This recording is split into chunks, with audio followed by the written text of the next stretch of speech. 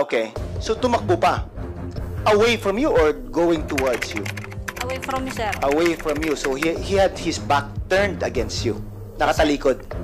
No, sir. Y- yung, Paano? Okay? yung, yung patakbo, sir, na putok eh. Patakbo. Yes, yung sir. parang sa pelikula. Yung ah, distance and everything. Now may post-mortem na.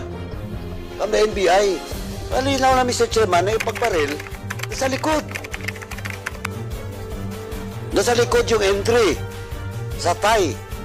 Eh malinaw yan Mr. Chairman na itong Perez nagsisinungaling from the very start. Ay, nagkaroon ka ng inkwentro, hindi mo matandaan? Tandaan ko, sir, yung encounter, pero sir, yung tama, sir, eh, hindi ko na, sir, matandaan, sir. So, hindi mo matandaan yung ah, unang enkwentro mo kung saan ang tama nung victim. Opo, sir. Oh, yung bang victim eh lumaban ba? Okay, so inabot mo, bin, binigay niya sa iyo yung drugs, Yes, sir. yung basura sabi mo, di ba? Binigay niya sa iyo yung drugs. Pagkatapos, anong ginawa mo? Di, sir, eh, tinanggap ko, sir, yung pagkatanggap ko, sir, ng basura. Check ko, sir, kung, ano, kung basura nga, kung siya bunga, sir.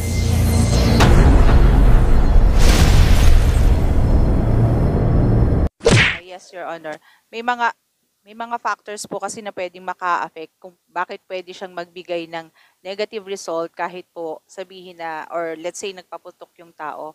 Isa po doon is yung kung anong klase ng firearms yung ginamit niya. Ah, is it a revolver or a pistol? So magkaiba po 'yon. Sa revolver po, ah pwedeng yung chances na yung gunpowder nitrates ay mai-embed sa sa pores or sa skin ng tao is malaki as compared to kung pi- pistol po yung ginamit niya which is uh, mas ah, less yung probability na makapag-embed siya ng ah, gunpowder nitrate sa kanyang skin. Another po is kung yung person na nag-fire ng gun ay wearing gloves, so hindi po siya magpe-penetrate dun sa gloves. So most probably magbibigay din po siya ng negative result. Another ah, factor ay yung pong direction ng wind. Pwede po kasi na if yung direction ng wind is towards the firer, yung chances of uh, mag, mag ah, de-deposit siya ng gunpowder nitrate sa skin is uh, pa- possible as compared if the direction of the wind is against or papalayo doon sa firer, pwede pong hindi makapag-deposit ng ah, gunpowder nitrates doon sa skin ng firer. So, yun po yung some of the factors that can affect uh, or that can give a negative result po.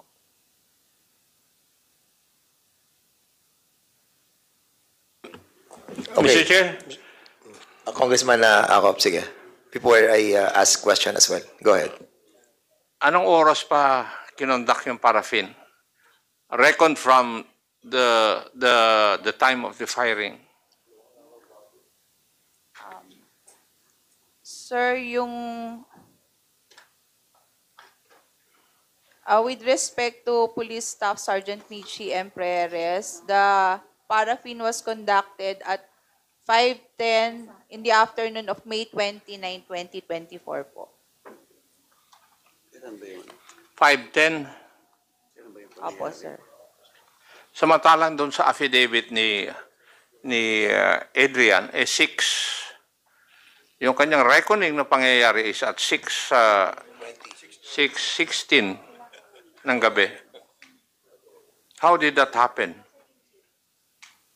Ah, sir, sa pagkakaintindi ko po, ang incident po is nangyari on May 28 and the paraffin was conducted on May 29 at 5 Ay, 5 p 10 p.m. in the afternoon po. the, the, the, the possibility na mawala na yung nitrates, lalo-lalo na kung naghugas ng bumaril ng suka, mawala na. Ah, hindi ah sir kasi yung pa- gunpowder nitrates po siya that can be detected for ah as maximum of 72 hours or 3 days po sir. Therefore, uh, can we not also conclude na yung 38 caliber eh, hindi pinutok? Dahil walang, uh, hindi positive yung paraffin test? Yun, as I have said earlier, sir, a negative result cannot uh, say or cannot we cannot conclude that the firer did not fire a gun. That is precisely the reason why I'm asking you. It is also a very big possibility that the firearm, the caliber 38, was not fired. Kaya negative yung allegedly pumutok ng baril na yon. Is it possible? It, it is possible po, sir. Yes, and that is precisely the reason why paraf- uh, results of paraffin examinations are not conclusive insofar as the courts are concerned. Hindi po ba? Opo, sir. Yes. Thank you, Mr. Chair. Mr. Chairman. Okay, uh, Congressman uh, Barbers, you are recognized. Go ahead. But before I proceed, Mr. Chairman, I will not let this go unnoticed that you are now sporting a mustache and a beard. Ah, kaya ito ay for my education, tanong ko lang si Sergeant Michi Perez. Ilang taong ka ng pulis? Mag 14 years sir sa ay nag 14 years sir ng July 1. Sa loob ng ah, 14 years na yung si- pagsis- pagserbisyo bilang pulis, ilang beses ka na nagkaroon ng enkwentro? Pangalawa to sir. Pangalawa. Yes sir. Yung una, ah, saan nangyari? Sa barangay Lipahan din po sir. Ah, doon din, sa lugar na kung saan nangyari. ayun sir. Kaya So halos parehas ng pinangyarihan. Raw sir magkalayo sir. Magkalayo. Same barangay lang sir. Same barangay pero magkaibang lugar. So, doon sa unang enkwentro, ah, namatay ba yung yung suspect? Yes sir. Ah, yung pangalawa, namatay din. Yes sir. Okay. Yung unang enkwentro mo, ano, Sarge, san, san ang tama nung ah, victim? Sir, hindi ko na sir matandaan ah, 20 hindi ko sir matandaan kung anong year din nung, nung encounter na yun sir. Matagal na sir eh. Eh, 14 years ka pa lang sa police, di ba? So, ibig sabihin, yung first na insidente na kung saan ay nagkaroon ka ng enkwentro, hindi mo matandaan? Tandaan ko sir yung encounter pero sir yung tama sir eh hindi ko na sir matandaan sir. So, hindi mo matandaan yung ah, unang enkwentro mo kung saan ang tama nung victim. Opo sir. Oh, yung bang victim eh lumaban ba? Yes sir, armed encounter sir. So armed encounter 'yon. Anong circumstance para lang ma-educate kami ano ha, Sarge.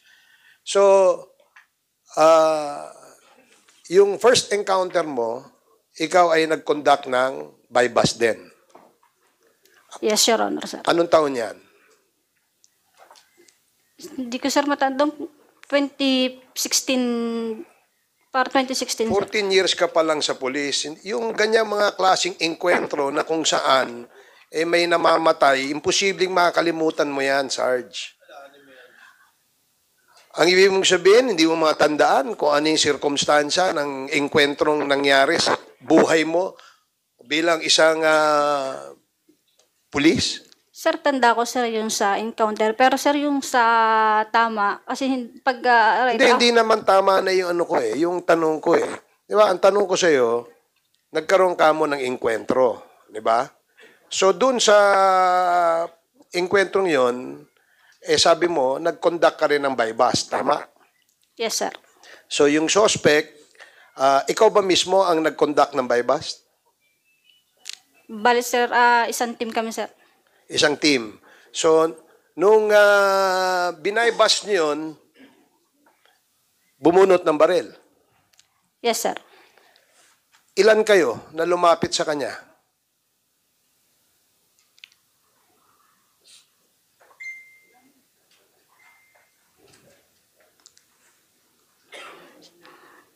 Sir, isipin hindi ko, sir, na mga, ano, eh, ang dami ko na, sir, na bypass operation, sir, eh. Hindi ko na, Pero sir, sa dami ng matandaan. bypass mo, dalawa lang ang may enkwentro. Yes, sir. Tama? At saka mukhang ano yan eh. Sige, pa, mamaya tanungin mo, isipin mo mabuti, tandaan mong mabuti kung ano yung nangyari nung first encounter mo. Dito naman tayo sa pangalawang enkwentro. Ah, bypass din ang ginawa mo. Yes, sir. Okay. Ikaw ang lumapit sa suspect. Yes, sir. Sino kasama mo? Ang main backup ko, sir, ay si Police Corporal La Rosa, sir. Pero malayo-layo sir sa akin. Bumaba na sir ako sa ano eh, sa motor. Okay, yan bang, ah, doon ka ba nakatira sa, saan ka nakatira? Sir, taga Quezon sir ako sir. Quezon ka.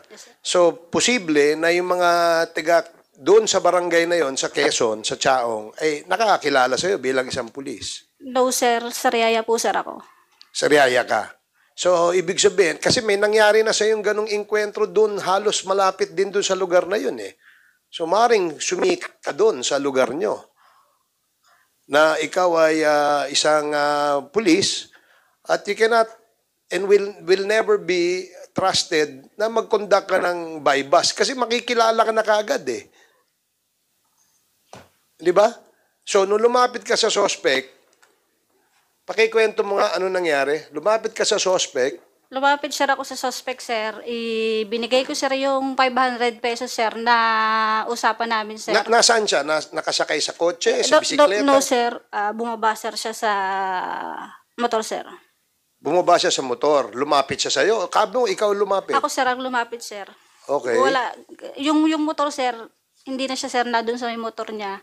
Ako na, sir, ang lumapit. Pagdating namin dun, sir, sa area, ando na, sir, siya eh. Okay. Inabot mo yung 500. Yes, sir. Pagkatapos, Binigay, sir, sa akin yung ah, basura, sir. okay, pagbigay sa'yo, gaano siya kalapit sa'yo? So, more or, malapit lang, sir, ang distansya eh. Parang ganyan na lang kami, harapan lang na ganyan. Okay, so inabot mo, bin, binigay niya sa'yo yung drugs, Yes, sir. yung basura, sabi mo, di ba? Binigay niya sa'yo yung drugs. Pagkatapos, anong ginawa mo? Di, sir, ay tinanggap ko, sir, yung pagkatanggap ko, sir, ng basura, check ko, sir, kung, ano, kung basura nga, kung shabu nga, sir. Sir, positive. Nung pagka nilagay ko, s- i, ini, ini, ano ko, sir, yung basura ko, yung basurang galing sa kanya, tanggal ko, sir, si sombrero ko, sir, para yun, sir, yung, ano, napag-usapan, sir, namin na pre-arrange signal, sir, eh. Mm. Pagkatanggal ko, sir, na, lumingon, sir, ako dun sa mga kasama ko. Paglingon ko, sir, lumingon, lumingon din siya, sir. Pagka, ano, sir, napamura pa, sir, siya, eh. Tapos bunot niya yung baril. Agwat, agwat, sir, ako. Umagwat ako, sir, eh. Atras, sir, ako. Ayun, sir, nagbiglaan na kami. Pinutokan niya ako, sir. Napilitan na, sir, akong gamitin yung issued firearm, firearm ko, sir. Ano yung firearm mo? Glock 17, sir, 9mm, sir. At yung ah, gamit ng suspect, ano? Ano, sir? Revolver, sir. Revolver. Yung pinakita kanina sa litrato. Yes, sir. Ano ba siya? Kaliwete o kanan? Sa pagkakita ko, sir, ay kanan, sir. Yung Paano siya binunot bumunot nung nakita mo? Ganito, sir. Ha? Saan niya binunot? Sa harap, sa likod, sa gilid, Sir, sa may- ulo? Sa... Para, sir, dito sa, sa kaliwa, sa may kaliwa niya na eh. Kapag ganyan. So, kaliwa ng parte ng katawan niya, binunot. Yes, sir. So, in, sa madaling sabi, siya ay kanan. Yes, sir. Yun ang pagkakatanda mo. Yes, sir. Okay. Ikaw, ano ka? Kaliwete o kanan? Kanan, sir. Kanan. Dumistansya ka, matras ka, pinutok mo. Yes, sir. Bago pa siya nakapaputok. Hindi, sir. Nauna, sir, siya magpuputok, sir. Kaya ko lang, sir, siya pinutokan. Nauna, sir, siyang pumutok. So, saan mo siya tinira? Sir, sa lower part, sir, nung katawan niya sa paa. Hindi ko pa nga alam, sir, kung tinamaan. Eh, nakita ko lang nung bumagsak na si ano eh. So, Si- nung tinira mo, tinamaan sa paa, tumumba siya. Yes, sir. So, ang baril mo, anong baril mo? Glock. Glock 17, sir. 9 So, mm. 9 millimeter yon. Okay. Mr. Chair. Uh, one last question, uh, Your Honor, if uh, if I may. Just para lang, hindi ko lang makakalimutan. Uh, Doon ba sa...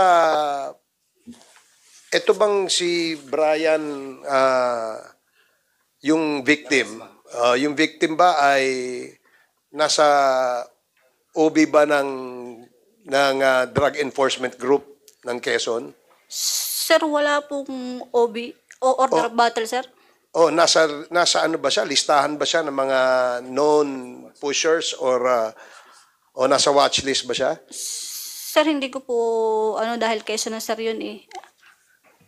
Alam mo, ah, ba't ka nag-operate? Unang-una may COPLAN yan. Meron yan summary of information, may SOI yan. Dapat hindi ka nag-operate. And according sa Barangay Lipahan, hindi nakalista si Brian Laresma sa watch list ng PIDEA. Alam mo ba yun? Um, Sergeant uh, Michi Perez? No, sir. Di mo alam. O di hindi ka nag-coplan. Which is a requirement for the bypass operation. Correct? Tama, Michi? Yes or no? Oh, di ba? Pag magkukonda kayo ng operation, meron kayo sinasubmit na coordination, na coplan. Tsaka bypass yun eh. Alam Oh, di ba? Meron? Coordination lang, sir. Tsaka pre-operational procedure, Correct. sir. Oo, saka SOI. Yes, sir. Oh. Di ba? Eh di dapat din inano mo, oh, kasama ba to sa mga watch list? Ba't natin babayabas kung hindi kasama sa watch list?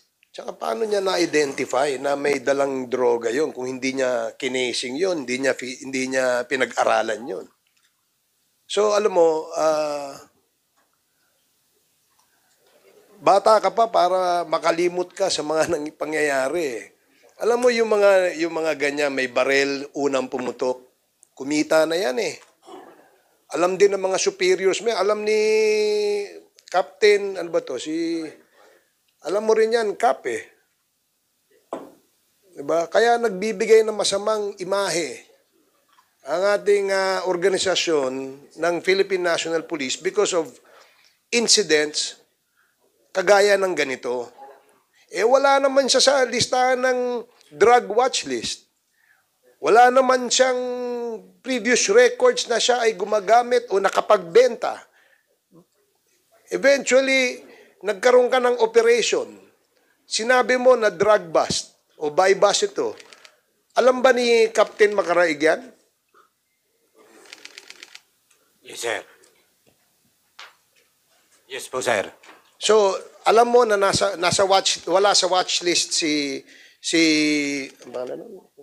victim, yung si Laresma. From the source lang po, sir, sa asset Saan? sa Alpha, sir. Yung ang nakuhang kuwan po, sir, ah, pinaka yung information po. Oh, pero pagka buy bust may pre-ops yan, di ba? Yes, Your Honor. Okay, yung pre-ops ba, basihan mo yung information galing sa asset? Doon lang po sa asset. Matagal ka na bang pulis, ano? Ah, Captain Makaray? Yes, Your Honor. Oh. Ah, Police Master Sergeant po. Ah, Master Sergeant. Oh, well, promoted ka na. Pinromote ka kaagad ni, ni Congressman Dan Fernandez. De, ang punto ko dito, Mr. Chair, Your Honors, is that yung mga drug suspects, yung mga nasa watch list, yung mga yung mga kinokondakan ng buy bust operation, may mga previous records yan. 'Di ba? Yes, sir. Okay. Dahil kung may mga previous records yan, alam mo na posibleng may laman yan. Ibig sabihin may dala yan. Yes, sir. Di ba? O, ngayon, yung kwento dun sa affidavit ng kapatid ni ng victim, sinasabi niya na merong pera na ibin, inabot siya pambili ng solar, ano yun? Solar electric fan. Oh. Solar electric fan. Gano'ng karaming shabu nakita mo doon? Ah, Nakuha mo sa kanya? bali po, hindi po ako nakakuha, Your Honor. Oh. Si Sige, gano'ng karami? Perez po. Mahigit, sir, 4 grams, sir. Mahigit 4 grams. Yes, sir. Okay. Ah, 4 grams ka- kapalit ng buhay ng isang tao. Nakakadalawang puntos ka na, ano eh, ah, Michi eh. Ba? So, karami, ano, by bus din yung, ng, yung first encounter mo, di ba? Yes, sir. At nanlaban din. Yes, sir. Oh, so, yung kwentong yan, medyo, ano yan eh, medyo, alam naman na, alam mo, If I may, uh, Congressman oh, go uh, ahead. Pebres, hindi, I, uh, I'm running out of words Oh, to, to kasi say, uh, I just wanted to explore that issue ano as well ano kasi um, parang medyo familiar din ako dun sa issue yan. Uh, uh, Michi kasi ano no ah, bro sandali lang isa lang. Ah, kasi ah, babalikan ko babalikan natin yung issue yon na sinasabi mo na meron din nangyaring bus operation nung ah, kanina sinabi mo hindi mo tandaan pero something like 2016, di ba? Is that a legitimate bypass operation? That, is that, uh, was that recorded sa ating uh, police station? Yes, sir. Are you sure? Yes, sir. Ah, Michi, huwag kang magsisinungaling ha. Ah, was there a, um, a case filed against you about this uh, operation? Sir, yung sa motopropyo, sir. Meron? Yes, sir. Pero, am I right that the person that was um, killed during that time, ang pangalan niya is uh, Adan? Is that correct? No, sir. Sino, anong pangalan nung na, napatay? Ronilon... Ano ko lang, sir? Villalobos, sir, ang apelido, sir. Villalobo. Villalobos, sir. So, hindi to yung Adan. Iba pa yung Adan. Iba pa yung Adan.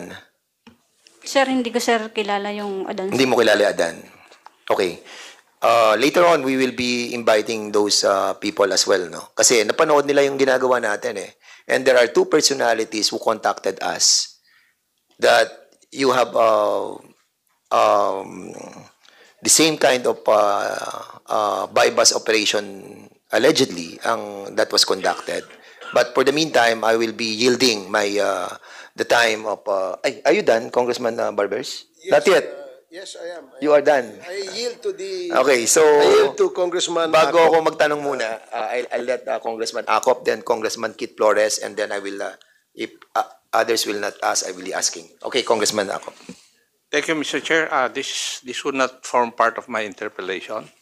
Uh, ito po yung clarification lang doon sa sagot doon sa katanungan ni ni Honorable Barbers at nung last hearing kay Honorable Busita.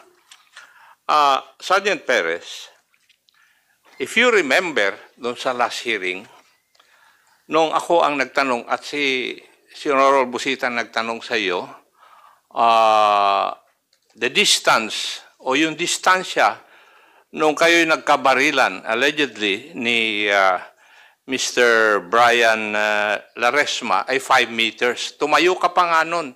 Sinabi mo 5 meters. That's about times 3.2 feet. That's about uh, 15 or uh, 16 uh, feet more or less. Di ba? Ang tanong ko ngayon sa iyo, at what point in time kayo nagbarilan? Kasi s- sagot mo kay ah, Honorable Busita noon is ah, na na complete o natapos yung bypass operation. Ngayon tina ang sagot mo kay ah, kay Honorable Barbers na complete yung kwan tapos nagkabayaran at that point in time umat ah, nakita mo bumunot si ah, si ah, Brian and then umatras ka. Ang ibig mo bang sabihin, umatras ka ng 15 feet? Bago ka nabaril ni Brian? Alam mo, iha, nagsisinungaling ka eh. Ah, nag-aantay lang ako ng isang member dito para makumpleto. Para sa totoo lang, magantay ka hanggang mamaya. Nagsisinungaling ka eh. Ha? Ah, kaya paano mo may papaliwanag yung ganun? Nagbayaran kayo, kinuha mo yung pera ni ni Brian, tapos nakita mo na bumunot, umatras ka ng 15 feet, tapos pumutok yung ah, pumutok yung ah, yung si Brian ng dalawang beses, tapos gumanti ka. Imposible eh. Iha? Paano kang maka-atras ng, ng 15 feet kaagad? Ikaw na mismo ang nag-demonstra nung last hearing dito eh. Tinanong ko ano ang distansya. Sabi mo, more or less 5 meters. Minonstra mo pa. Di ba? Natatanda mo yon? Yes, Your Honor. Yes. At alam mo ba yung distance na 15 feet? Kung hindi ka pumuputok regularly, tatamaan mo sa gusto mong patamaan yung target? O tsamba lang yun? Kung totoong nangyari. Sir, ah, pumuputok po ako, sir. Eh. Ano, sabi mo, once a month, pumuputok ka last time. Pe- Pero sir, ano po, Oh, yun na nga. Sin- Hindi ba tinanong ko rin yung tanong na yan sa'yo last time, Iha eh. Kaya ako nagtatanong na magaganon dahil meron gusto akong i-establish. Iha. 14, 14 years ka lang sa serbisyo. Ako mahigit 30 taon. Para doon sa kwan mo, storya mo. Narinig ko na yan ng hindi lang isang daang beses istorya na ganyan. Para sabihin ko sa iyo ang totoo, iha, iba ang istorya na nangyari. And I will ask your officers kung ano talaga yung tunay na nangyari. Wala naman putukan na nangyari. Binaril nyo lang yung tao kasi gusto niyan tumakas. Naiwan ka na mag-isa eh dahil ginagawa yung mga coordination. Ano iha?